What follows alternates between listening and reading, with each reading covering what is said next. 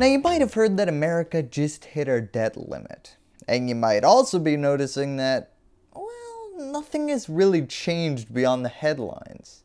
Now I just recently released an episode promising defaults, some social security checks may be bouncing, and a cameo appearance from at least one of the four horsemen of the apocalypse. So what's happening and why isn't it happening? Well, simply put, America's tank is currently on E, but we're still coasting along. You see, America's been living paycheck to paycheck since, well, since that one time under Clinton where we actually turned a budget surplus. What a good year. We're just trying to weather the storm and go from paycheck to paycheck. Just hope that the next tax season will get us there. Now currently the tax dollars that America collects last until about June or July. From there, put it on my card. Now what happened this week was America hit a self-imposed credit limit, which means it can't borrow more money until someone changes something. Now that doesn't immediately mean we're just out of money, it just means that the bath is now draining with no fresh money coming back into it.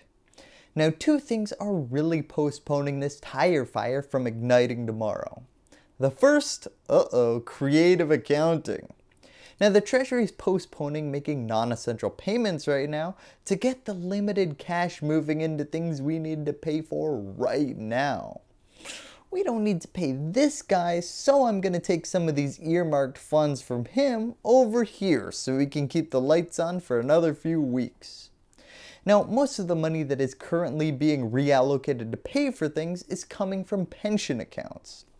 That promise of future money to government employees is slowly being drained of cash and instead being replaced with IOUs. Huh. When the government called Sam Bankman-Fried over to testify, I didn't think it was for accounting advice. Wait, so you're saying we can just drain these accounts of their cash and instead put in some promise money and then use that cash to buy other things? Neat, I'll do that soon.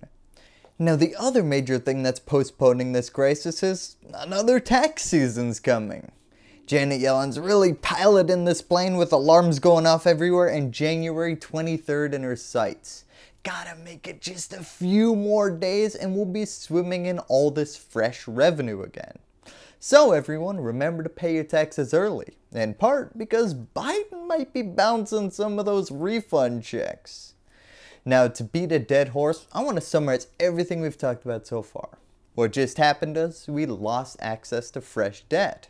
We're dealing with this by A. draining other government accounts and deferring payments of non-essential things to preserve the limited cash we have to spend on essentials, and B. we're just sort of holding our breath for non-debt revenue generating tax payments that are going to be coming in a few days. Now it's predicted that with all of this prolonged monetary strategies, well, it's gonna be leaving us limping and then we're gonna run out of gas and start missing payments in late June or early July. Which, can we really make it only half a year on tax funding alone?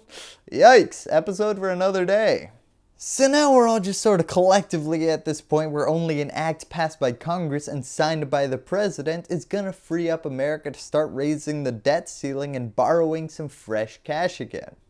And trust me, I have no doubt that Congress is gonna make like James Bond and definitely wait until that last grain of sand is teetering on the edge of the hourglass before we actually defuse this bomb. I guess you could say right now we're on borrowed time. Thank you and that's all I have to say about that. Hello YouTube, I'd like to thank my patrons over here for helping me put on my videos. If you want to support independent nonpartisan news looking into the overlooked, join this growing list of exceptional individuals by clicking on that link in the description. Also remember to subscribe and ring that bell so that freedom will continue to ring. And lastly, as always, thank you for watching.